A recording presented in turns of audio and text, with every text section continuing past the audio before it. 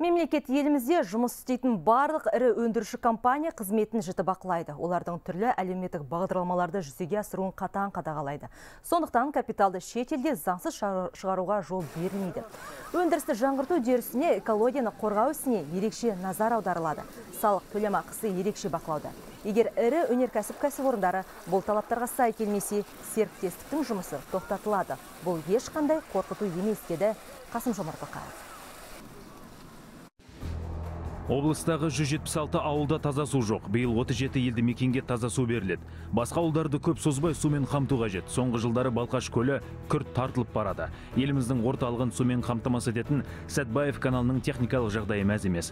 Білікті мамандармен бірлесіп осы екі мәселені мұқият зерттеуді тапсырамын. Көлді сақтау және каналды қалпына келтіру үшін барлық шара қабылдану керек. Қазір суды тазартып тұщытатын заманауи технологиялар баршылық.